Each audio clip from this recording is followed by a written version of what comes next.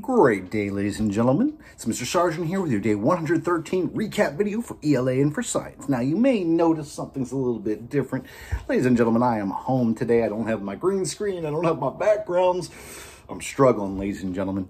But we're not going to struggle through this video because it's going to be a very easy video. Now, today, ladies and gentlemen, we are going to uh, talk a little bit about ELA. super easy today because, well, we just did quizzes and tests today. But in science, we're going to talk about something that I hold dear to my heart, and that is survival.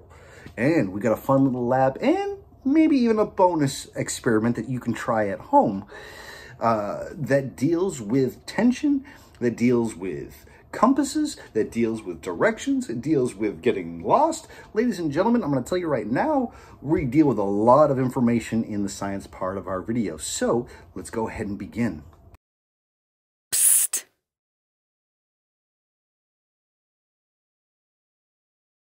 Now, like I said before, ladies and gentlemen, in ELA today, we took two, not just one, but two tests.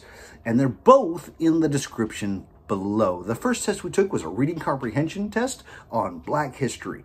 First of all, those that did it in class, you did a phenomenal job. But if you didn't get a chance to complete it, go ahead and click on the link in the description to go and take that test. Um, I've also sent it to Google Classroom as well as Class Dojo. And the other one is our end of the week spelling test. So ladies and gentlemen, both those links are in the description below and I've already sent them to you in Google Classroom and on Class Dojo. Good luck, ladies and gentlemen. I know you are going to do a fantastic, fantastic job.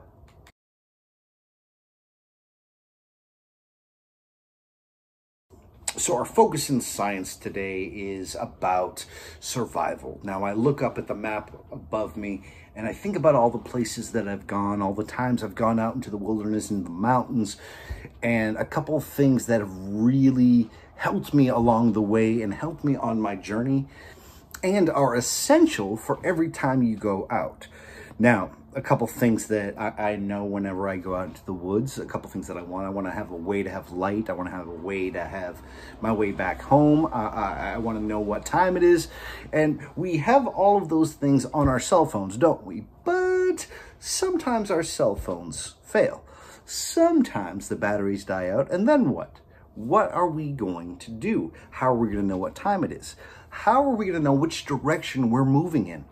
Well, ladies and gentlemen, today's activity is going to be dealing with compasses. Now, all you need today is some water, maybe a piece of paper, uh, a container for the water. We don't just want to have water flying out, and a needle. Because a needle is very important. Now, I don't know if you knew this. I'm going to go into my desk of science here, a needle is is can do so many things. You think about all the purposes and ways that we use needles, whether it's to fix clothes, whether it's doctors use them to help people that have gotten hurt with cuts, um, and a needle is definitely needed in survival. Now, I know I always have a needle in my in my wallet, mainly for a number of reasons. One, uh, I often split my pants ladies and gentlemen, whether it's on the side or I get holes in the knees or somewhere. Listen, my pants, they, they're in rough shape, ladies and gentlemen. So we can use a needle to sew them up and fix them. But in a survival situation, uh, what I would use this needle for is to sort of show me the way home. And you're asking yourself, how can this needle show me the way home? Well, I'm about to show you. Now, if we know anything about compasses here, we know that there are four major directions. We have north, south, east, and west. Now, a lot of people just point north or point up to say north, but really it's more of a two-dimensional way of thinking, meaning we don't look up. North would be a certain direction to the sides or behind us. But when you're in the woods or you're in the desert or you're in any of the biomes that we've talked about this week, knowing where north is is super important because if you have any chance of getting out, you want to travel in the, the opposite direction that you came in. So if you're traveling in the desert and you know that you came in from the west and traveled east, well, how do you find your way home? Very good. You go back west. And if you're in the rainforest and you know that you traveled south when you were there, how are you going to get home? Well, in the opposite direction. To come back where you came from, you're going to go the opposite of south, which is north. So to find our way, we need a compass. Now, not everybody carries a compass, but if you have a needle, you can do it. So I'm going to show you today how to create a compass using this needle. Now, the first thing you're going to do is you're going to use the big end. Now, there are two ends of the needle. You got the sharp end and you got the big end. We're going to take the big end right here okay? And what we're going to do is we're going to find some metal. Now, in the wilderness, we could use a rock. We could use anything to create friction because what we want to do is we want to magnetize this needle. No, not magneto, this needle. We want to add magnetic things to this because, well, we want it to point north. Something you may not know is the North Pole is one big magnet, all right? Uh, the North Pole, or North, is what we call magnetized, meaning every compass on the planet will point north because there are tiny magnets inside of a compass too. So we can know which way is north just by the way it's pointing. So we're going to make this point north. So the first thing I'm going to do is I just happen to have a, a metal screw here and you really want a stone or any metal other object that you have and you want to just scrape it. Now, what you're doing here is when you're adding friction to this, you are creating sort of a magnet. You are magnetizing the needle. Anytime the ions in the metals are touching and there's friction, it creates like a magnetic pulse almost. There's a magnetic connection. So now we have created a magnet here. The next thing you're going to do is, well, I'm to have to change my camera angle for this one, but I'm to show you in a second. You're to put this on a piece of paper. So the first thing that I'm going to do, ladies and gentlemen, is I have my water nice and clean. And I'm to tell you right now, cold water works better for this. All right. The first thing I'm to do is I'm to place my piece of paper and have it float. Now, if you notice, it's floating because of the surface tension. And we kind of want it to be still. And then I'm to place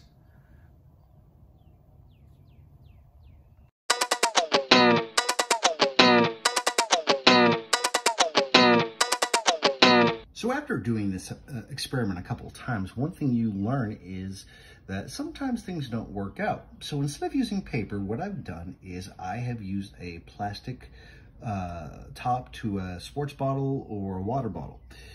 And what we're going to use, why we're going to use this for is because we need something that's going to sit on top of the surface of the water. Because right now there is surface tension on this water that's holding the plastic container or a plastic container top up.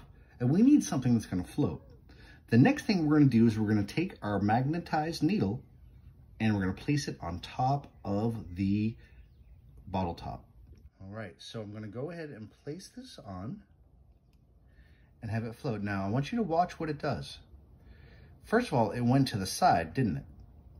Okay, so we're gonna move it out to the middle, but we're not gonna change the direction because what's happening is the magnet is pulling it. So if we spin it around, it's gonna continue to move, and then eventually it is gonna stop.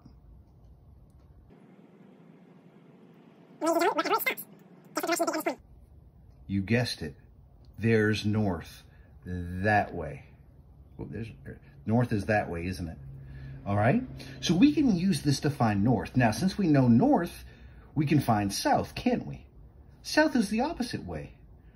And by looking at the sun, we can definitely tell where east and west are. So this right here, ladies and gentlemen, is a great tool to use if you're ever out in the wilderness or out in the woods or something you just want to try at home. Now, ladies and gentlemen, I have a second experiment that I would love for you to try, and it's called a sundial.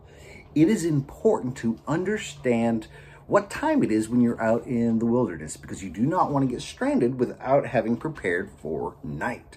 So in the description below, you're going to find the step-by-step process of how to make your own sundial. Now, I said this earlier in class, but I'll say it again. If you and your family put together this sundial this weekend and take a picture of it and send it to me via Class Dojo or my email, then I'm going to give you guys 10 bonus points on yesterday's biome test. Good luck, ladies and gentlemen. The instructions are right there, and I've also I've Google Classroom you as well as Class Dojo. Now, one more experiment that we're going to do today because in Science Club, first of all, I want to give a shout out to Lonnie, uh, Adelie, to Selma, Ilias, to um, my assistant Eli. Thank you, Eli, for all your help today. Uh, Peyton was there. Uh, Jean Abigail. Uh, we we had so many. I'm, I feel like I'm forgetting somebody, but oh, Donna. How can I forget about Donna? Listen, ladies and gentlemen, the highlight of my week is getting to see all of you and see how excited you are while doing science experiments. So I have one more science experiment that we did in Science Club today that, well, kind of fits our, our pattern here. Now, we talked about surface tension, didn't we? How the top of the water has some surface tension. Well, water also has air pressure. Water is incredible. Now, here's the challenge I have for you. I'm about to do something, and I want you to explain to me how I did it. I'm not going to tell you the steps because the steps are easy. I'm going to get to show you. I'm not going to tell you what's going to happen because, ladies and gentlemen, I want you to explain to me how this works. So, like I said, ladies and gentlemen, I want you to explain to me what is happening in this next science experiment. So, to do this, all you're going to need is a water bottle and another container. Ready? Here we go.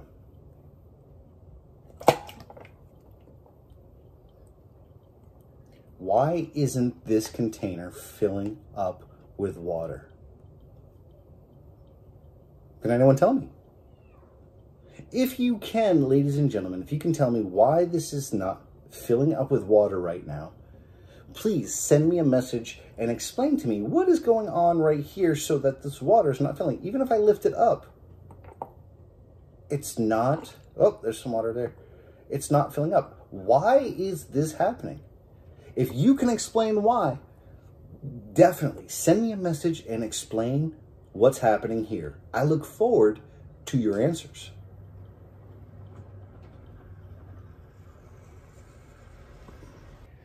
And ladies and gentlemen, that's it for day number 113. Do not forget the links to the tests and quizzes and the experiments that we did today are in the chat box below. I hope you all have a great and restful weekend. And until Monday, I'll see you later.